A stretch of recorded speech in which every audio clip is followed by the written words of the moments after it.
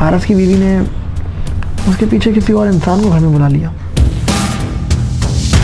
मेरी जान परेशान मत हो जब तक तुम मेरे साथ हो मैं ऐसा कुछ नहीं करने वाली। यार देखो आज मत रोको। मीटिंग्स हैं कॉन्फ्रेंस हैं बॉस के साथ तो आज जाना ज़रूरी यार समझो प्लीज़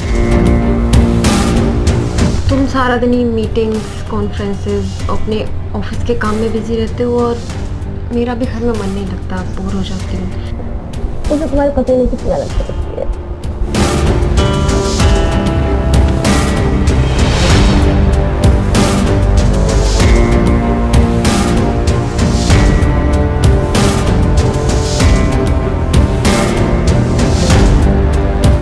बस मैं खुश रहना चाहती हूँ और म्यूज़िक को अपनी लाइफ बना के मैं अपनी बस ज़िंदगी को एंजॉय करना चाहती हूँ।